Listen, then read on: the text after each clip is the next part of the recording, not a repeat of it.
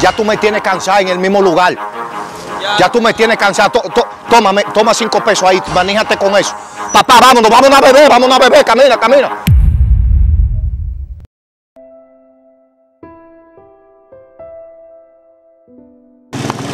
Ayúdame, por favor. Quiero reconstruir mi casa, por favor. Tú me tienes cansado ya todos los días, todos los días pidiendo. Tú no tienes otro lado donde pedir. Pero si lo hago por algo.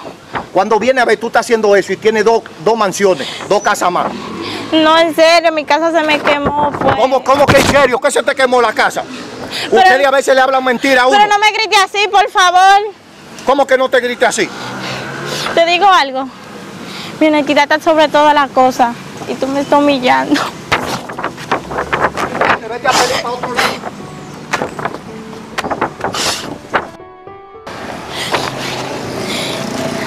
Señor, usted vio cómo ese señor me humilló ahí.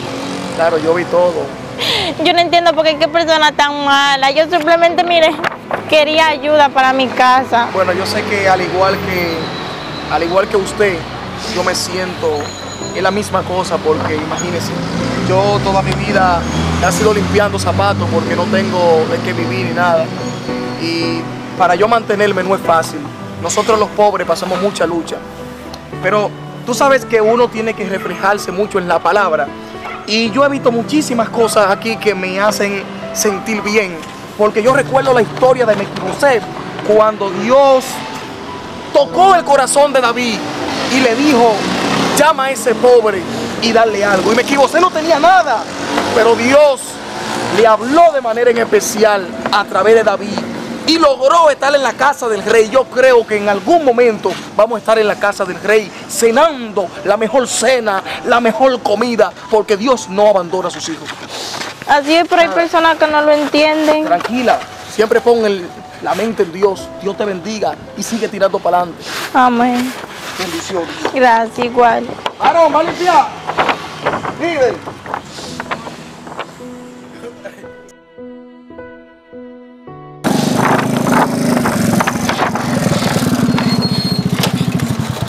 dame una ayuda, por favor. Se me quemó mi casa. Yo vivo ahí atrás. Y a mí me pasó lo mismo que a usted. Pero por lo ¿En menos- serio? sí, por lo menos vamos a ayudarlo con algo. No es mucho, pero grano a grano se llena la gallina el buche. Que Dios te lo recompense. Muchas gracias, Señor, de verdad. Te lo agradezco. Gracias.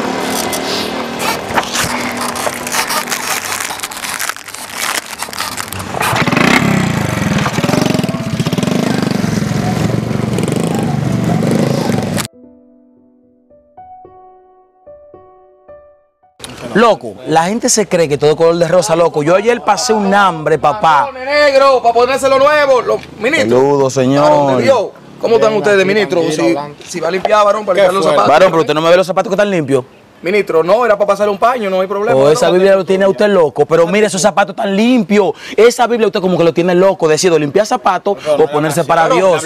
Varón, varón, le voy a decir una cosa, para lo que para muchos esto es locura. Para Dios es vida eterna, varón de Dios. Exacto, no lo Usted Y a se mí- está y a mí- me ministro. Tú no le y a puedes mí me hablar así, importa. Alfredo. No, pero Alfredo, no le habla así. no importa. Eso Dios le está mal. bendiga, nada más. Cristo le ama y quiere Eso no me importa, cuídese, varón. Está mal, Alfredo, tú no puedes hablar Papá, así. que joden Ya, demasiado, ya van cinco, loco. La Biblia se respeta. Pero yo, respeto la Biblia, la vaina que yo no respeto a ellos porque hablan demasiado disparate, No, loco. eso no es disparate. Pa, yo no te voy a dejar aquí, cuídate. Oh, está bien entonces. Tú no puedes hablarle así hoy. Está bien.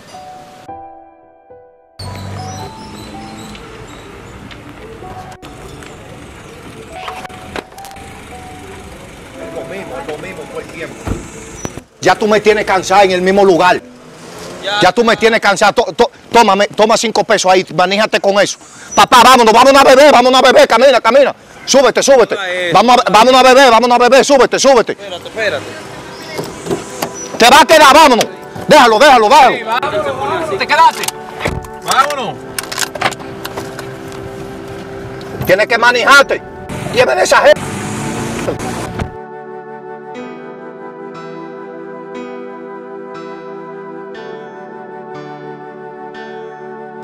¿Y ustedes, mujeres?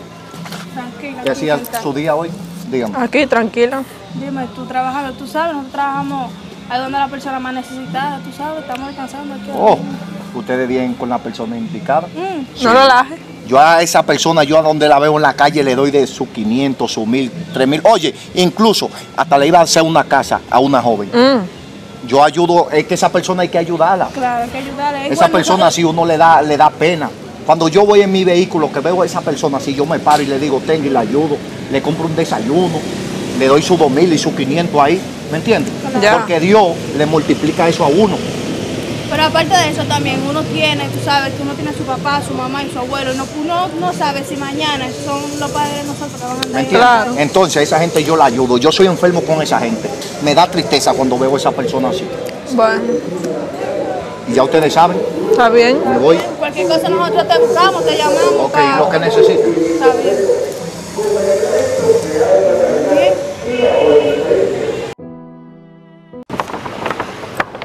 Dios mío, todo el tiempo aquí, en el mismo lugar.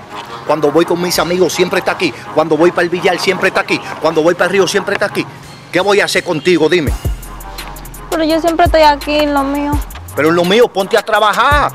¿A ti te molesta eso? Sí, me molesta. ¿Te quieres ir mejor? Claro que sí. Yo te quiero ayudar. ¿Y cómo tú me Tranquila, ven a ver, yo te voy a Pero ayudar, tranquila. humillaste. Yo soy un hombre bueno, no, tranquila. Es que uno tiene un buen corazón y uno puede cambiar. En la vida todo se puede. A ti te va a ir mejor, ¿me entiendes? Mira, te va a ir mejor, mejor te va a ir. Mejor. ¿Por qué tú haces eso? Tú sí eres malo. Me da la gana, oíste.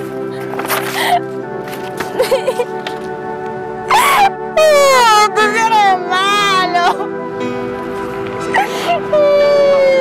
Amigo, pero ¿por qué usted es así? Yo sé, yo sé que tú eres una chica joven y que Dios te va a iluminar el camino, porque que de la forma como ese chico te ha tratado, de la forma como son muchísimas cosas, tu casa se quemó, pero nada, nada, porque Dios no desampara a sus hijos, al igual que tú mira como yo he echado para adelante. Es que yo no hago eso por necesidad y eso es lo que muchos no entienden.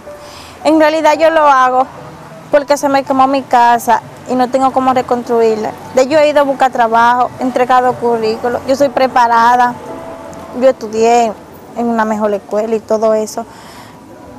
Cosa del me- destino, no está con tus padres ni nada de eso, pero tranquila, tranquila, que Dios siempre bendice a sus hijos.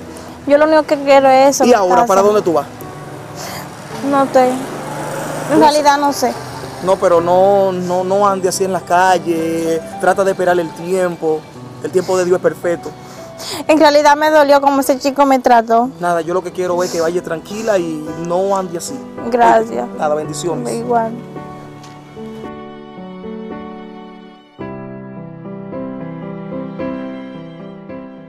Mami, yo quiero dar una vuelta contigo.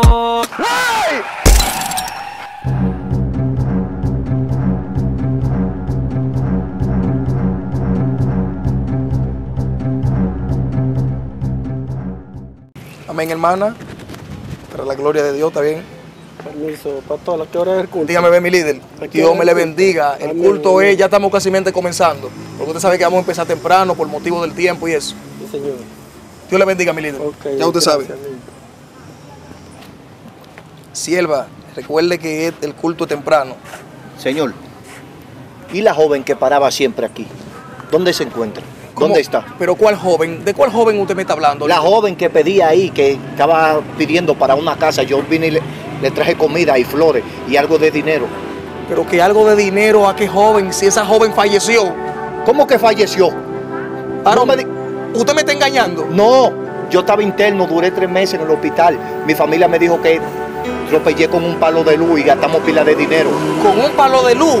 ¿Usted se cree que usted fue con un poste de luz? Sí. Usted se llevó a esa persona y también la chocó y falleció. ¿Cómo, varón? Ese mismo día que se llevó el poste de luz. No me diga eso, por favor, no me diga eso. Pero nada, ahora usted viene con un plato de comida, varón, y viene con una flor y viene regalándole dinero. Pero uno cambia. Pero ¿cómo es posible, líder, que ahora usted viene con ese plato, que viene con esa flor, después de todo lo que pasó esa persona pidiendo para reunir para una casa y no tenía y ahora usted me salta con eso a mí? Varón, mi familia me engañó entonces, me mintió, porque me dijo que yo hubiera tropellado con un palo de luz, yo no sabía nada. Inconsciente. Déjeme decirle que por la alta velocidad que usted andaba en el vehículo, por la bebida que usted consumía, por creer comerse el mundo, mira lo que pasó.